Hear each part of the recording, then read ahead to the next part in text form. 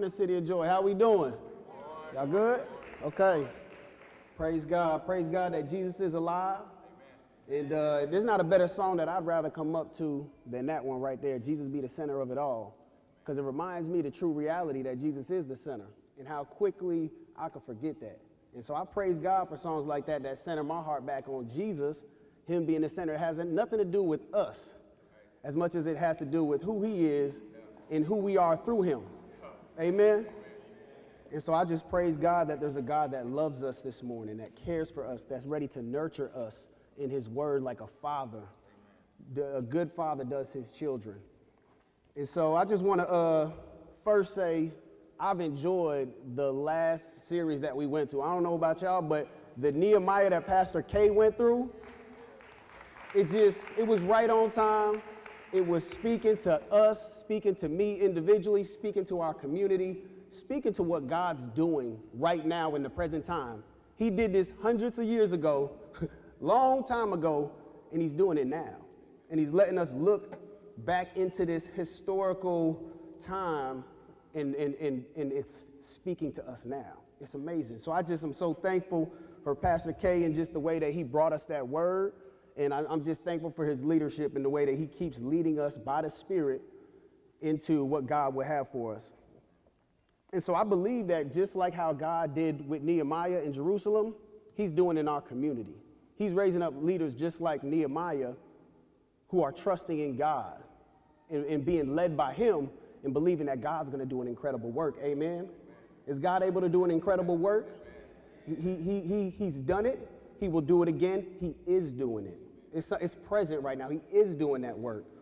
And so I'm grateful. And so as I think about the, the, the sermons that Kenton preached and, you know, everything we learned about Nehemiah and Jerusalem, it, it, that's amazing. But sometimes it's hard to grab hold of that faith that Nehemiah had. It can almost seem like it's, it's so far from what I feel is capable or God can do in my life. And so the goal for to, today is that I really want to spend time talking about what does it mean to have the kind of faith that Nehemiah had? And what does it look like to trust God to do something in my life, and in our community? And I believe that it all depends on what you believe about the authority and power of Jesus Christ. That, that's what, that, that is going to be what I want to spend time today talking about. So we're going to spend uh, the rest of the time going through an encounter about the, uh, a centurion soldier and the faith that he had in Jesus. And we're, we're going to go in the book of Matthew, and it's going to help us wrestle around of what it means to trust in the power of Jesus in our lives. And so the interesting thing is, is that leading up to the, to the passage that we're going to be going through today in chapter 8, we see in chapter 7, verse 29, Jesus is said to have the kind of authority that no one has. People, people are seeing him do all these miracles and all these miraculous signs, and they just like, none of our teachers are like this. Nobody's like this man, Jesus. He, it's like he has an authority that just a power that it, it can't be denied. You know what I'm saying? When somebody has a power and authority that can't be denied, he's not like the other religious people that we see telling us to do things. He actually doing things. he's not just telling you to do things, he's doing it. And he's saying that that is what authority is. And we see also going into chapter 8, the first verses of chapter 8, he heals a leper of leprosy, and he's showing that he has authority over even any physical ailments or of any body, bodily harm or kind of dysfunction that there is, Jesus healed the leper. So he's showing he has authority over even a physical body. So we begin to see this theme of authority, and we understand authority to some degree in our lives. We've seen it. We understand we are supposed to obey our parents, obey the law. There's different things that can happen, and there's if you have a teacher, she can exercise authority in a classroom, correct? And so we understand the kind of authority that we see in our lives. It's the power, here's a definition the power or right to give orders, make decisions, and enforce obedience. So, with that in mind, I just want to take some time to go through this encounter and see how Jesus' authority and his power is on display. So, if you want to turn to the book of Matthew, We're going to be in uh, chapter 8, verses 5 through, through 13. And so you guys can go ahead and uh, turn to that real fast. I'll, I'll give you guys a second. It'll be up on the screen as well. All right, so I can go ahead and start off in verse 5. When he had entered uh, Capernaum, a centurion came forward to him, appealing to him, Lord, my servant is par- lying paralyzed at home, suffering terribly. And he said to him, I will come and heal him. But the centurion replied, Lord, I am not worthy to have you come under my roof, but only say the word, and my servant will be healed. For I too am a man under authority with soldiers under me. And I say to one, Go, and he goes, and to the other, and to another, Come, and he comes, and to my servant, Do this, and he does it. When Jesus heard this, he marveled and said to those who followed him, Truly, I tell you, with no one in Israel have I found such faith. I tell you, many will come from east and west and recline at table with Abraham, Isaac, and Jacob in the kingdom of heaven, while the sons of the kingdom will be thrown into outer darkness. In that place there will be weeping and gnashing of teeth. And, and the centurion said, uh, and to the centurion, Jesus said, Go, let it be done for you as you have believed. And the servant was healed at that very moment. Amen. That's God's word right there. And it's just it just amazes me. This has always been my favorite passage. And let me tell you why. It's because it just highlights what it means to have faith in Jesus. It just doesn't make sense to the physical, natural eye because he looks crazy. He just came to Jesus. He said, I have a friend, a servant who is paralyzed and suffering terribly. Like, can you do something about it? Jesus said, Yes, I will do something about it. I- will come with you. Where he at? Let's go. I'm ready to go. He's like, Stop. Stop. No. You can't come with me. Moses would be like, Bro, why are we here? why did you come to Jesus to tell him that? He just said you're going he's, he's gonna come with you. That, that in of itself is amazing. For Jesus to say, I'll come with you to your house. You walking with Jesus the whole way, like, yeah, that's, that's amazing. Like, yeah, just he's, he's, do, he's doing real bad. I can't wait for you to meet him and, you know, heal him and touch him. He said, no, I'm unworthy for you to come into my house. And, and, and, and not only that, but he actually said, he addressed him as Lord. And so he's understanding who this God is that he's heard about. And so he already understood who Jesus was. And when you understand who Jesus is, you understand that you're way different because you're in the presence of God and you just don't, I'm unworthy for you to come into my house. And then he also said, I know what authority is like. I'm a, I'm a centurion, I'm a Roman soldier. I have people underneath me. And you know the Roman Empire, they do not play around. They, they, when they say something, it's done. It's over with. They could take a life just like that, just with a word of somebody with authority. And so he says, Look, I understand authority. Say the word and it's done. And Jesus marveled. That's the it's amazing. The one thing that'll get Jesus to marvel is when somebody has a faith that believes God at who he said he is. That's it. Believe God at who he said he is. Nothing else that you could do can get God to marvel. It's really when you see him for who he is. And so Jesus marveled and he looked at the people, and this is what gets me. He's all these, these people who are following him, maybe they might even claim themselves to be disciples of Jesus. Jesus turns to them, he say, in all of Israel, I haven't seen any faith like this. In Israel, I'm talking about people who are claiming to be the people of God. And you know why? It's because a lot of them really didn't see Jesus for who he was. They just thought he was a man doing cool things. So they following him. But but no, Jesus is not just a man. He's God of the universe. And he's doing miracles right in front of their eyes. Amen. And so it's clear to me that this centurion had an understanding of the power of God's authority, of Jesus' authority, and he acted on it. He responded to what, what, what happens when you see Jesus for who he is. And so, this story, how is it going to help us experience the power of Jesus' authority? What is that going to do for us? I got three things from this uh, text that I, I want to suggest that could, that could help us believe and trust in the power of God's authority. So, first, number one, you have to tell Jesus your problem. Check it out. Look. First, first, first verse we see in, uh, in verse 5 and 6.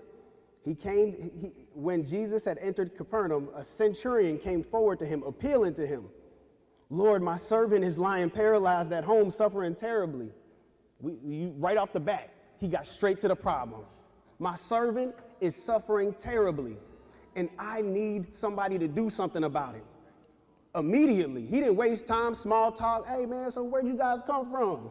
Where'd you guys, you know, what you guys eating today? I'm good, I'm doing fine. You know, the Roman Empire's great. You know, we doing our thing as we usually do. No, he didn't do any of that. He said, I have a, I have a, it was urgent. I have a problem. And so that's what God is trying to reveal to us. When we have a problem, we take it to somebody we believe can do something about it, right? Yeah, yeah, yeah. When I have a medical issue, who am I going to go to? If, if, if, if, I, if I really want to get something done about it, who am I going to go to? Doctor. ASAP. I'm not going to go to somebody off random off the street like, yeah, I'm kind of feeling this little ache in my back. What you think I should do? No, I they're probably not going to be able to do anything to, uh, uh about it. So I want to go to somebody who can do something about the problem. And so we see, obviously, the way that the centurion addressed Jesus. He knew who he was talking to. He said, Lord, right off the bat. I know who I'm coming to. I'm not just coming to some random guy that's some good teacher. Lord, the one that's healing lepers. Lord, the one that's doing incredible miracles. Lord, I, I, am speaking to the Lord of the universe, not just a good teacher that I'm just kind of like hoping maybe he can figure something out. No, Lord. I addressed him as Lord because I knew that when I took my problems to him, he can do something about it. And so, just like for us, what do we do with our problems? Ooh, that was that was time to respond. I want to hear I want to hear somebody's answers. What, what do we do with our problems? Yeah, solve them? Try to solve them. That's right. How do we solve them? I know sometimes the way I try to solve them is I suppress them. I'm like, man, get back down there. You don't need to come out. Ain't no problems in this world. You try to put it down and act like it's not there, but then all the time it's it's coming out. It's going to come out some way. You can't change some of these situations that you have in your life. So, what are some other things we do? Hmm? Take them to God. That's right. But you know what's interesting? Sometimes, if I'm gonna be honest, I don't know if everybody else is gonna be honest, but sometimes I don't take them to God. He be the last one I tell about it. I'd be like, so yeah, her, man, I'm kind of struggling with this thing. What do you think I should do? Hey, what do you think I should do about that? I mean, yeah, you know, I'm just struggling. It's hard it's challenging, and I just, I'm just stuck. You know what I mean? Whole time, God like in the prayer closet, like, fam, what's up? you told everybody else, but there's almost this resistance to come to somebody who could do something about it. And maybe that's because if I had a, a, a type of disease or sickness, sometimes I don't want to go to the doctor. Ooh, because he could do something about it. But that's scary sometimes to think that they're going to have to do something about it. And we got to get that cancer up out of you, man. and I don't want to always do or go to the person that can actually do something about it because sometimes it's easier for me to stay paralyzed in my situation and, and, and, and not have to go through that process of changing or, or surrendering myself, yielding myself to, to, the, to the power and authority of somebody else. That's scary. But the question is, is do you want your problem or situation to change? That's the real question. And do you know who it is that you're going to to change your problem? So the second thing, well, first, before I go on, telling your problems to, to God, what it looks like for us consistently, is, is to like we've been talking about.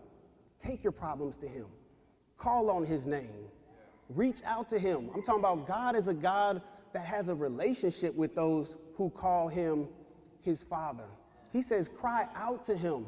He says, cast your, in First Peter says, cast your cares upon him because he cares for you. That means we're in constant communication with God. When we have something on our hearts and our minds, just say, God, I'm feeling this way. God, there's this situation that's going on and I don't know what I should do about it, but I know you can do something about it. I know that you can lead me into a way that I can see a change. I can see your presence here. And so I want to challenge everybody to take your problems to God. Take the things that are on your heart and lift them up to the Lord and, and, and see what He does. Secondly, uh, to experience the power of Jesus' authority, you have to take Jesus at His word. So let's, let's look at uh, verse 7 through 10. And we see it very clearly. It says, What does the centurion uh, say after Jesus says, I will come and heal him? The centurion replied, Lord, I am not worthy to have you come under my roof, but only say the word, and my servant will be healed. For I am too a man under authority with soldiers under me. I say to one, Go, and he goes. To another, Come, and he comes. And to my servant, Do this, and he does it. When Jesus heard this, he marveled and said to those who followed him, Truly I have I tell you, with no one in Israel have I seen have I found such faith.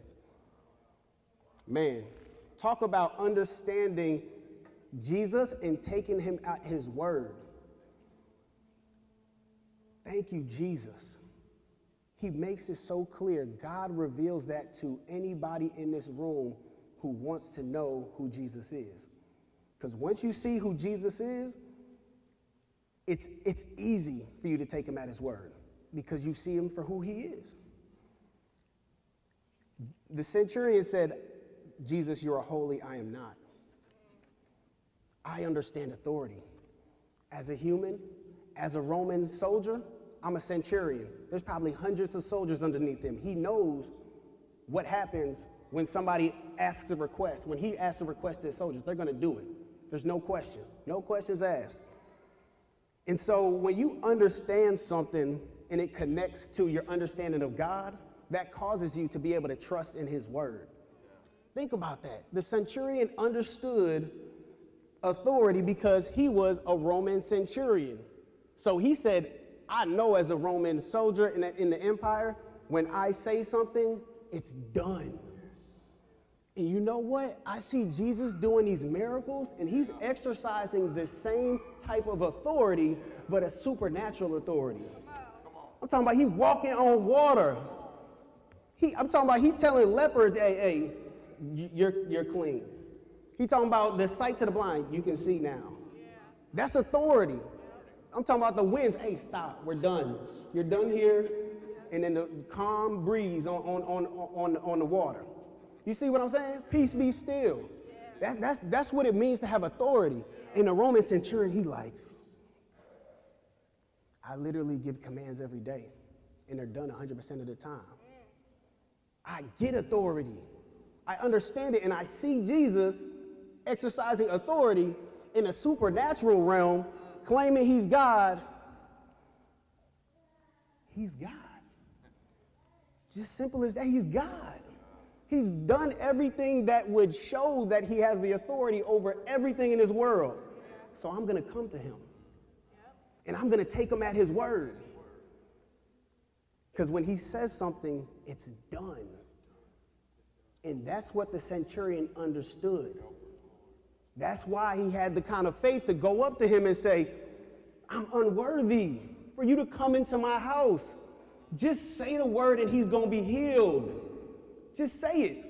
And I could go home comfortably, walking home with, with confidence, knowing that just like me as a centurion, I say the word and it's done.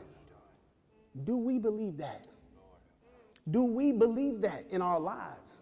Do we have that kind of faith that sees Jesus? It's not complicated. Do you see Jesus as he is? Do you see him as holy and we're not? Do we see him as authority over everything in this world? Your breath, your friends, your family, your community, your financial situation, your marriage. Does he have authority over all that? If he does, I can be in Jesus' presence. I can tell him my problems, and I can leave confidently saying, I know God about to come through. I know it's not going to be a, a matter of can he do it, it's how he's going to do it. All right? That, that's really what it is. How is he going to do it? I want to almost, I want to just be in awe about, Lord, how are you going to do it? Because I know your word, I know your desires, I know you want to cause things to come back to life. I know you want to restore all things. So I can be hopeful and I could, I, I, I could trust in the person of Jesus. So I take him at his word. That is what we need to do in our lives because sometimes it's like we don't take him at his word. Because we can say we take him at his word. Hey, all those people following him, like, yeah, Jesus, man, he, he the teacher. He's, we're following him. He does all these great miracles. And man, Jesus is Lord, man. Jesus is Lord. Right? Right, guys? He's, he's Lord. Did some cool things. But the thing is, why did Jesus say, Nowhere in Israel have I seen faith like this guy?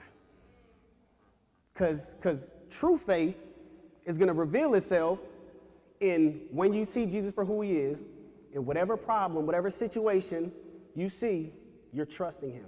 Nothing's going to deter you from believing in God, no matter what you see.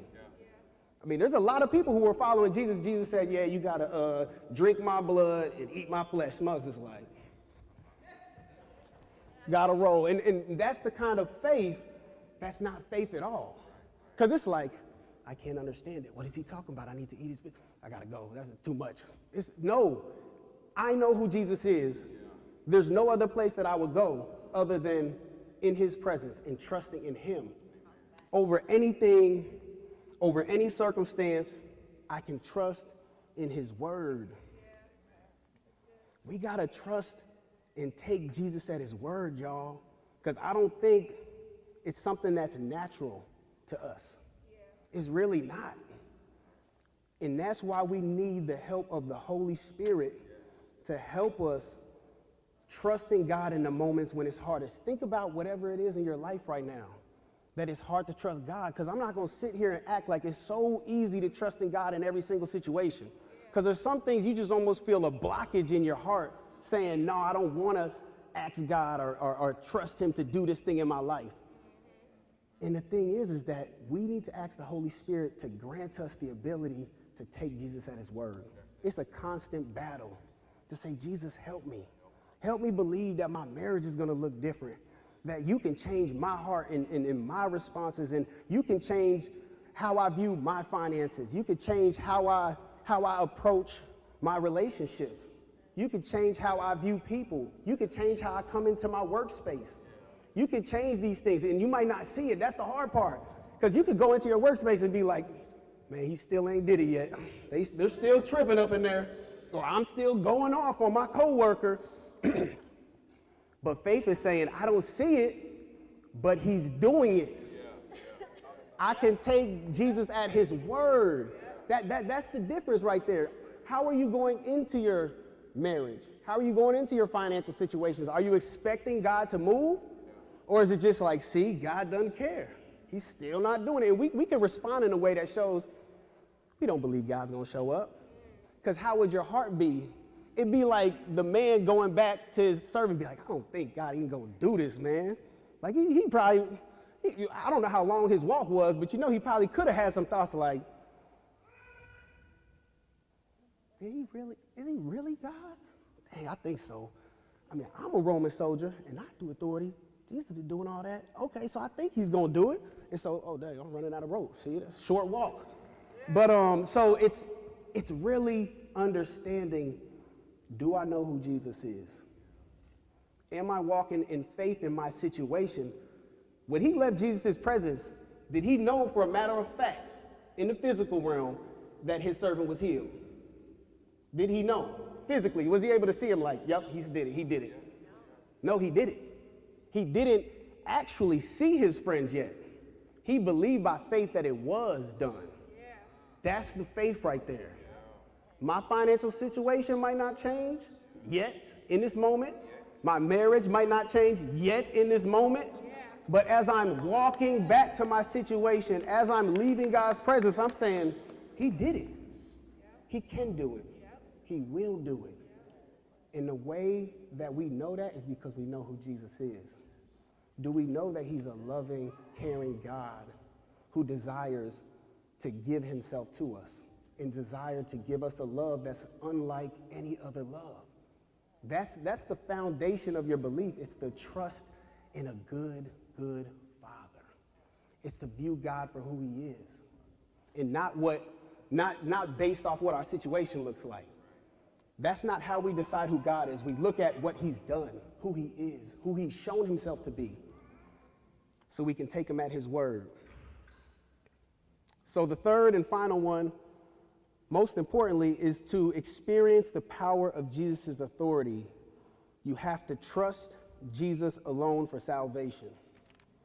So, let me uh, read verses 11 through 13. And here we have Jesus saying, Truly, when, uh, I tell you, many will come from east and west and recline at table with Abraham, Isaac, and Jacob in the kingdom of heaven while the sons of the kingdom will be thrown into outer darkness. In that place there will be weeping and gnashing of teeth. And to the centurion, Jesus said, Go, let it be done for you as you have believed. The, the servant was healed at that very moment. So, like I said before, we have to see Jesus correctly as he is. And so, the, mo- the most important thing that Jesus is trying to get us to see, it's not just about this man's situation changing he was revealed something that was far beyond that situation in his servant being healed. It's you saw Jesus for who he truly is. And look, I'm telling you guys, when you see Jesus for who he truly is, you're changed. Regardless of the situation, it changing. You're changed because you just experienced the God of the universe, the creator of your soul, the one who has loved you, and, and, and, and knitted you together in your mother's womb. You have just met him. You've seen him for the first time, and that changes your life. And so this centurion, he came to him already convinced of who he was. And I believe that God is saying, when we see Jesus as he truly is, our lives change. We're never the same again because the Holy Spirit comes into you and gives you that ability to believe that God is who he said he is. Because if you see anything that happens in the Bible, even with Peter, he said, Flesh and blood didn't reveal to you that I'm the Son of God and who I said I am, that I'm the Messiah. God in, in heaven revealed that to you. So it's God activating our faith to believe in Him for salvation. So it's not, Jesus doesn't just care about your situation, He cares about our souls, He cares about our lives. It's, the situations may be a way that he uses to reveal who he is, but it's really about, I want to be connected to you. I want you to know me. Because there's joy and satisfaction when you come into my presence and experience me and to be reconciled and brought back into a relationship with God. I'm telling y'all, this is the greatest Amen. news of all time that the God of the universe came down, revealed himself, saying, I'm God in the flesh, healed diseases, gave sight to the blind, and said, I'm coming to die in your place because I want you so badly to know the Creator that created you. And I want you to know the love that you've been seeking your whole life, that, that, that you've probably been wounded and scarred and just a, a hole in your heart. I came to fill that. That's, that's the space for me. I came all the way down to tell you that. I, I want to fill you up with joy. And that's in my presence. And that's when you see Jesus for who he is. There's an incredible joy. I can't imagine that man leaving Jesus' presence saying, I already know my servant's healed. That's salvation. He didn't even have to get back. He knew he was healed because he experienced who Jesus was. The, the, the God, the Father in heaven revealed it to him. He was able to say, Lord, just say the word and, and he'll be healed. That's salvation. And when you look at the passage, it's just so clear to me because there's these people who are religious in Israel, the people of God, Israelites. They're supposed to be the ones following God's command. They know the book, they know the religious things to do. Jesus turned to them and said, I haven't seen faith like this. He, he marveled. He said, Real faith. This is real faith right here.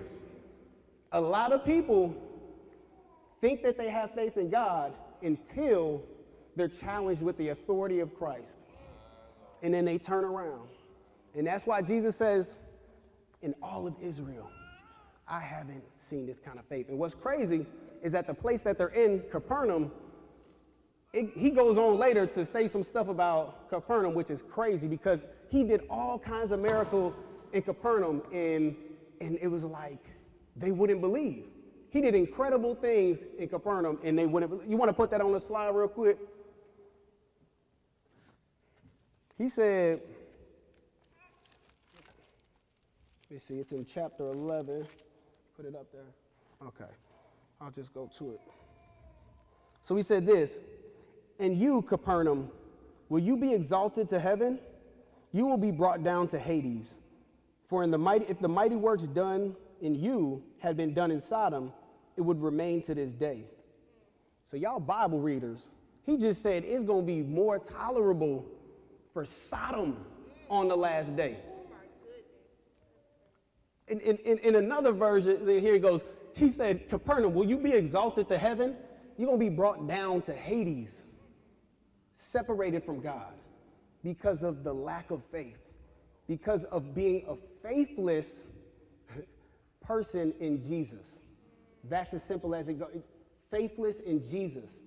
It says a lot of, a, a, a, lot of uh, people would say that they believe in Jesus, but is their life reflecting they understand the authority of Jesus, the power of Jesus, what it means to see Jesus and respond? Our lives would look radically different if we really believed in the power of Jesus.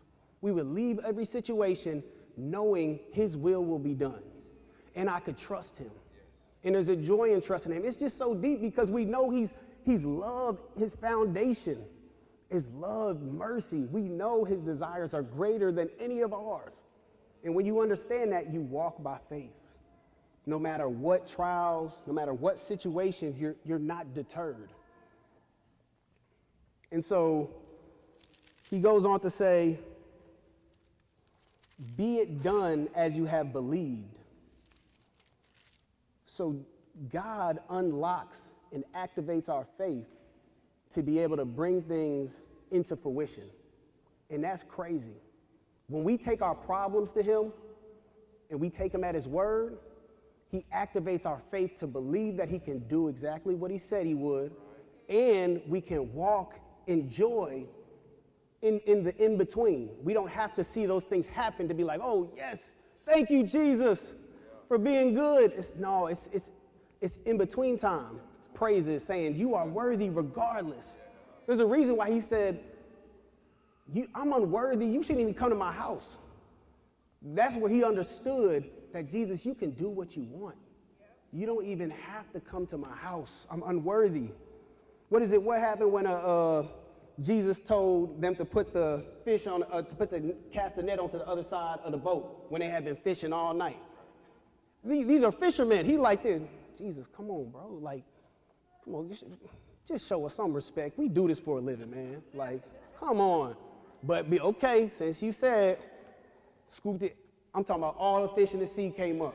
The, I'm talking about they just dropped down and just saying, like, you gotta leave us, man. Like, you God. That's crazy. Like, I don't even feel it, it's. I, I love being in your presence, but it's also uncomfortable because it's like you can do things that nobody else can do. And that's what it means to have faith. He's different than us. But we are able to worship who he is in that him being different because he does it for his glory and for our joy. And so I'm thankful for that. So it's not just about your situation, it's about your soul, it's about your salvation. God cares about your soul, understanding who Jesus is. You know, sometimes we so focused on our situation, like, yeah, I, I just want to understand who Jesus is so he can change this. I just want to understand Jesus so he can do that. No, I want to see Jesus for who he is so he can be in my life. You know what I'm saying? So that he can be in my heart, that he could be in my soul, that he could be a part of every single area of my life, and that for the rest of my life I can walk with him, that I could enjoy this God who loved me so much that he would die in my place. And it's crazy. Like, this isn't the, the, the, the, necessarily the easiest part to share, but Jesus is saying those who don't have the faith that he's talking about, of, of seeing Jesus correctly for who he is, he's saying there's only one other place to go in outer darkness. He's telling people that, that claim to be the people of God, people that would probably quote you the Old Testament, these religious people, he's saying, the kingdom was prepared for you. He said, God set it up for you. You were supposed to be in here. But you showed that that spot wasn't for you the moment you said, I, I don't see Jesus for who he is, the God of the universe, the, the one that God the Father sent down, the same God of Isaac, Jacob, and, and Abraham, is now revealed to you, and you're saying, Well, we don't, we don't look to him. You've just lost your seat. He said, You're going to be in outer darkness. And not only that, he said, The weeping and gnashing of teeth. I'm talking about that is terrifying. You know what I'm saying? When somebody gnashing their teeth, grinding them together, that is terrifying. It's horrible. It's something that it, it shows torture. It kind of reminds me of a torture when you just, the agony. And Jesus is saying, and this is the person that actually came to keep you from doing that, from going there. So there's compassion in it. It's not like he's just saying that, dropping it and leaving and going back to where he was. He's saying, that's true for people who claim to be religious or spiritual or anybody who doesn't look upon the Son for salvation, to connect to their Creator, that's, that's the only option. That's out of God's presence. It's either being in God's presence or away from God's presence. And so he also says, man, hold on, just he said, let it be done as you have believed. And he, he, he said, people are to come from all around the world reclining at the table. And this got to be humiliating or just hard to hear for Israelites.